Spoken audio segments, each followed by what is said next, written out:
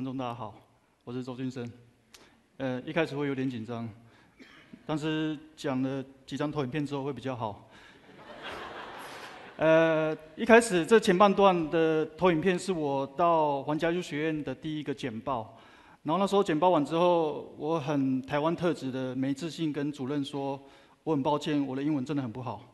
然后主任给我一句话说，没关系，你的图会说话。所以从那个时候开始，我很专注在图上面，我的英文不太进步。呃，因为我在英国的时候讲。讲英文会有台湾腔，可是，在台湾讲中文会有台中腔，所以基本上我来自台中丰原，一个很乡下，也也不算乡下，是半工业半农业的地带。我觉得它非常的丑陋，所以，呃，我试着去改造它。然后这一点看到这个，我觉得很感动的是，呃，不是说他。对啊，他很丑，但是我很感动。我我因为我家也是开工厂的，我爸妈非常的保守，可我爸还愿意让我这样子乱搞，因为搞别人家是违法的，所以我搞我自己家。所以我从小就喜欢画画，然后甚至于我自己的房间我也画。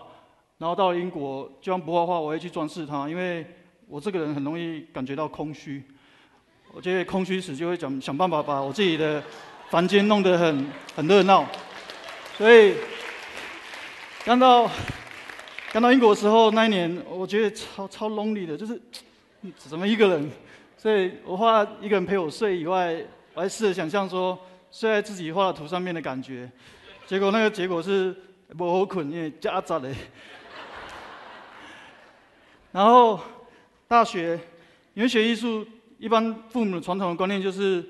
阿爸也无头路，你知道，唔知要安怎行，要像放骨那样，巴肚会枵。所以，我爸妈希望我可以走教教书这条路，所以我只好就照我爸的方向走。我去念了师范学院，但是我一心想要念的是艺术学院，那怎么办？那，对，这是因为我爱念书，所以 我只考得到嘉义嘉义师院，很乡下。然后我也很用力的把它当艺术学院来念，所以，我试着让自己不要像一般师院的学生，我要像艺术学院学生一样专业，所以我搞我认为是艺术的艺术，我什么都玩，而且到现在我觉得学了很多专业的知识之后，我反而不像那时候那么的敢玩。我不说我在搞创作是是在玩，因为真的很不专业，所以我不只是形式上很很很爱玩，就是连就是就是。甚至于走到街上去，因为我很喜欢台湾的传统文化，所以虽然我不是真的八家将，但是我假装我是八家将也可以。所以你看，所以还有可口可乐跟，因为而且那时候还真的很怕被鬼上身，所以请请同学很会写书法的同学写《金刚经》在身上。然后我我是第一个，那时候真的因为我这个角色叫石毅，那时候做的时候真的惊惊啊，因为真的很怕那些东西，因为我这个角色就是。帮那些那些抓鬼的那些将兵拿那些工具的，所以我觉得大学念得很开心。然后同时我很喜欢街头艺术，也很喜欢传统的国画。我喜欢很旧，也喜欢很新。所以当初我从高中一直到大学，一直都有在学国画。然后国画的美学涵养到现在对我影响很深。虽然我的创作形式不再是国画，但是是有影响的。甚至于呃，我喜欢老东西，因为在乡下可以捡捡到很多老东西。我从大二的时候捡到一个黑松的汽水箱开始，我爱上了老东西，所以玩老机车，甚至于染头发。为什么要染头发？因为快毕业了，你以后就要当老师了，当老师就不能这样搞了。所以我比一般的师院生更用力去去乱搞，因为感觉快没机会玩了，所以去穿耳洞什么都来。后来就像大家一样。因为这个真的很像制约，因为那个年代就是毕业不教书啊，不会中奖，就很奇怪。所以毕业后当然就是乖乖的去教书。但是呢，因为是菜鸟，菜鸟就是要带班，我还是想办法把我自己班弄得像美术班。所以这是我的教室，我的教室，我的教室基本上像是光是布告栏是没有框架的，所以你看整个涂到。那框架之外，我想要让小朋友知道说，这些老师不赶快。然后像我还有做一个一模一样的邮筒，所以有情书还是有秘密可以跟我讲，可以寄给我。然后这个这个有梗，这个旁边这个是我的办公桌，因为那时候去上课的时候，觉得很奇怪，这些小孩子下课都喜欢围在办公桌，啊，妈妈还恭维，就一直看你，看你改作业。然后我就想象从外面的人这样子看我的教室，那个画面会很有趣，所以我把我办公桌弄得像是卖那个小小章鱼小章鱼小丸子的那个，所以那个画面就像是下课时小朋友会来我的路边摊买东西，所以这个画面是变个 make sense 的，就很有趣。然后甚至于我可以做一些我一个人没有办法做的事，比如说学校有一个很大马路，我一直幻想着要把它弄个街头大涂鸦这样，所以我就叫全年级的老师说把美术课、美劳课弄同一堂课，然后跟总务处调一些粉笔，就搞了集体创作。我觉得这个感觉很棒。然后我可以从小朋友的身上可以学到很多，因为他们很真诚。比如说像我这堂课，这堂课是母亲节快到了，然后就我小时候今天是母亲节到都要画妈妈。问题是就儿童发展理论来说。那个肌肉没有办法达到说看什么像什么，小朋友画不像时会挫败，那个挫败不好，所以我不会让他们感觉挫败。把题目调整一下，题目叫“妈妈像什么”。母亲节像这个，他家是面瘫，工作很辛苦，妈妈像个机器人。妈妈喜欢煮好吃的东西，所以妈妈像烤箱。妈妈每天早上会叫他起床，妈妈像闹钟。哦，这个很感人。妈妈像月亮，是因为妈妈每天工作很晚才回，才才回家。所以那感觉就是像月亮一样，很晚才会出现。所以，然后在教书的时候，一定会常讲故事嘛。然后这故事应该很多人有听过，是砍柴的故事。我特别喜欢它，因为它适合小孩，也适合大人，甚至于影响我自己之后的日子。这故事就是一个年轻人跟一些老人在砍柴，常常砍柴。然后老人呃不不，年轻人工作非常认真，拼命的砍柴。可是怎么砍呢，都没有老人砍得快，而且老人不止。快就算了，而且还会休息、聊天、泡茶。年轻人都不休息，一直砍，然后砍到后来，年轻人也去休息了。后来发现，这些老人真的是非常狡猾。没有啦，这些老人真的是很惬意，就是在休息的时候一边喝茶一边那边磨刀子。所以这故事的重点就是方法很重要，你不能就是埋头苦干啊，没有没有方法，也不知道准备。所以这是个梗。这个就是之后影响我，因为你在讲故事给小朋友听的时候，你本身也是在在学习，也会去思考，所以我就跑去当兵的。后来当兵的话，日子很无聊。我是个厨房的活尾，就是我我我买吃的，我用吃的，然后这个环境非常的真的很无聊。但是我继续创作，我把它当义工队来来当。像是这个，就是因为当兵你不能选自己的工作，然后这个学弟。他不会煮菜，但是却要来厨房，所以他很挣扎，然后没有心在我们厨房。然后这个是很幸运的，我有被兵变。然后那时候刚好是圣诞节，然后就觉得自己的遭遇就是圣诞节周围的弟兄很关怀，那是很温暖的。可是我一直逃不出来。然后这是退伍前十天，我有一种奔放的感觉。然后有时候我要支援驾驶，我是个驾驶兵，所以我可能要等长官回来，然后我就会记录在无聊的，因为我很怕无聊。所以甚至于我连搭搭地铁，不知道搭捷运的时候，在南京东路站的厕所，我也是记录一下我眼前的样子。然后当兵的时候最怕的就是收假，收假又跟女朋友吵架，那就编这个画面，就是压力很大。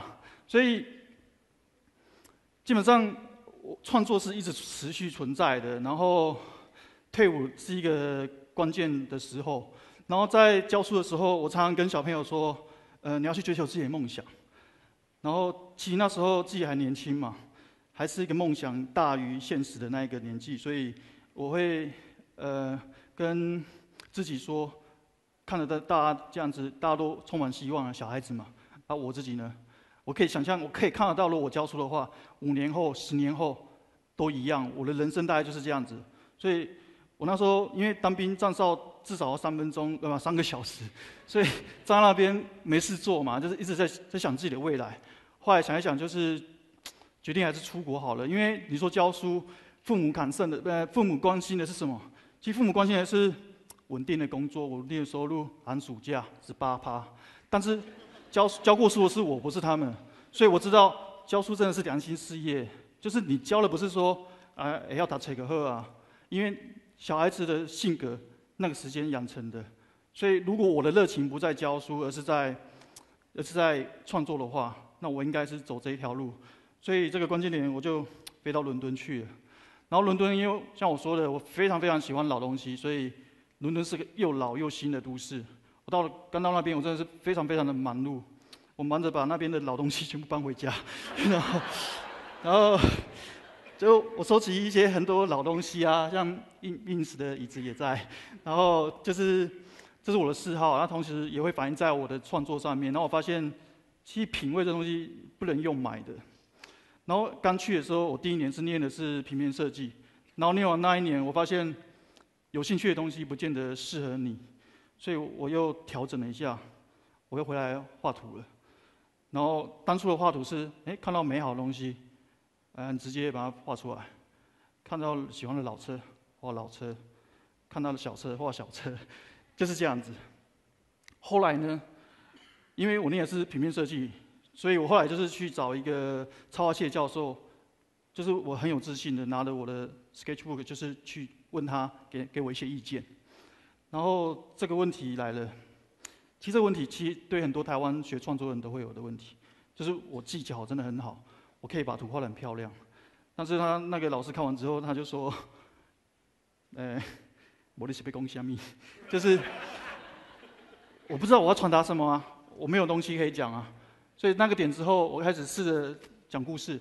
比如说有一次我吃完英国最有名的炸鱼薯条故事之后，我开始觉得，嗯，自己在英国的一个异乡人的经验，感觉自己的身份很低，像这些小薯条一样。所以我用小薯条去讲一些故事，小薯条故事。但今天不是来讲故事，所以跳得很快。但是这个之后，马上的，我发现讲故事一定要用绘本吗？我觉得这样子的形式太一般，大家都这样做，我不喜欢跟大家一样。就我重新思考过，所以后来重新思考，我发现我其实要表达是伦敦的那一个冷漠给我的感受。所以我发现其实伦敦人那种你会觉得很欢乐的感觉，那是给观光客看的。但以我的身份，我是在那边住在那边，所以我的感觉是他他们是很冷漠的。然后我发现伦敦地铁是全世界最无聊的地方，因为欧密码。但是有一个事情是有趣的，就是伦敦是个很国际的都市，你可以看很多不一样的人，所以你可以去观察。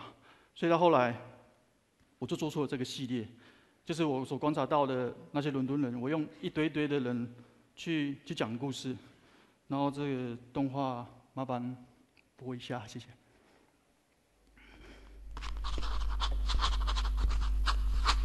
我用了三十天的时间去记录了将近快三千颗的的面孔，然后这是我创作的方式，我就是。一开始有一半是自己画的，有一半是观察来，就是像这样子，你去外面观察，然后你会记住，然后最后再去 recreate，就是再再重新创造，然后做这个东西给我的感想就是，人的想象是有限的，就是我大概画了一千大概两百颗我自己想象的点之后，再也挤不出东西了，你必须要走出去观察，你必须要出去去写生。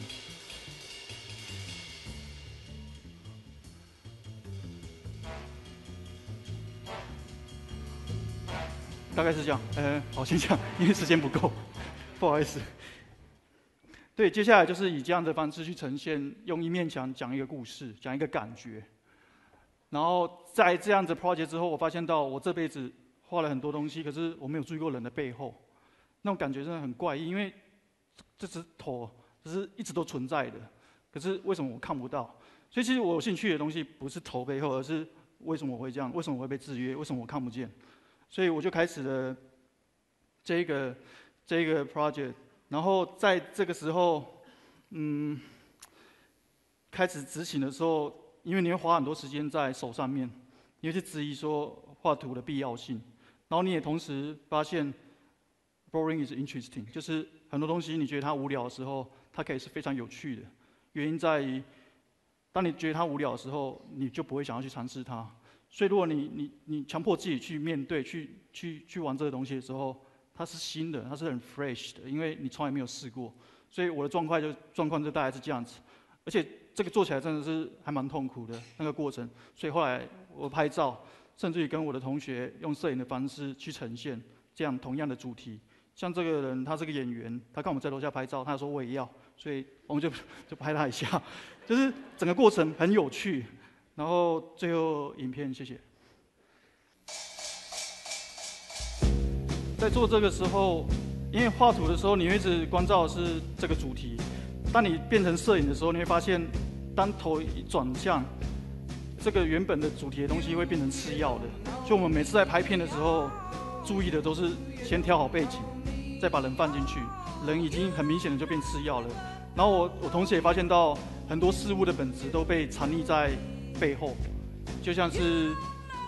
人，你看人的时候，你看正面，你很容易会被他的五官美丑给影响，你没有办法真的看到里面。但是当你看背后的时候，什么都没有的时候，你才会真的去思考东西的本质。好，谢谢。哎，还没，我还没讲完。我是说那个谢谢，不好意思。后来读外话就拍照，然后一直是不一样的方式去呈现，一下子用照片。然后一下子又画图，后来又是把照片跟图结合，然后甚至说把照片贴金箔，或者是再用手工处理，然后最后我在英国办的这个展览，呃，影片谢谢。后来在理发厅展览，因为就像我说了，我很喜欢街头艺术，然后我觉得街头艺术在呈现东西的时候，它是一种很很主动的。就不会像说一般艺廊，你不要一般画廊，你必须要跑去美术馆，你才可以看作品，而是他进入到一个社区。所以我的概念也是找一个我喜欢的理发厅，然后把作品就在那边呈现出来。过去我可能从平面开始讲故事，后来用一面墙，到最后我想的是用一个一个立体的氛围去去讲一个故事，然后就变成这样子的一个东西。然后最后一分钟，呃，就这样子。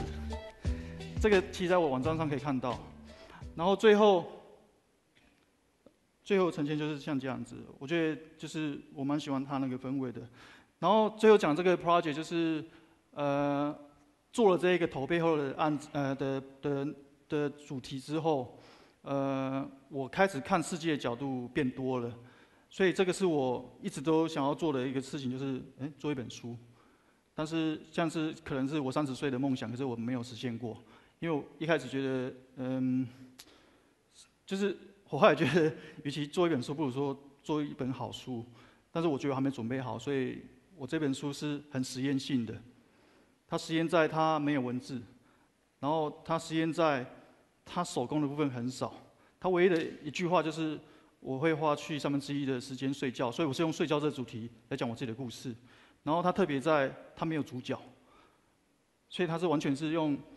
呃，用东西之间的关联性，呃的关系去去讲故事。比如说，这个讲的可能是我国中的时期，国中的时期是呃很不快乐的，因为要看很多书，所以书桌特别的大，然后那个窗户感觉是不自由的，然后拖鞋少一只是你想逃你逃不掉的。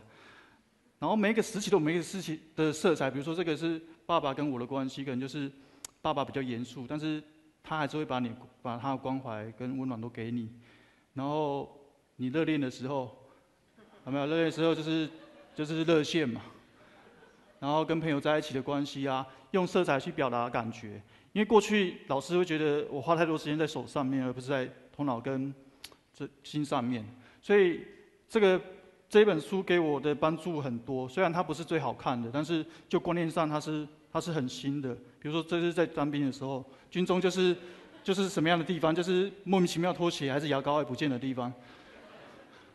然后这个是到了英国，这不是拖鞋太大，是那边就是那个房间太小。然后这是我想象的未来，就是跟老婆可能就是比较 战争的感觉。然后这是我期许的未来，因为第一张是只有一没有拖鞋，然后这一张是我期许说我可以花更多时间跟呃我的老婆陪伴我的小孩，因为我记得小时候父母比较少关怀，所以我不是那么有自信，所以我期望长大呃自己有了家庭之后是这样子的。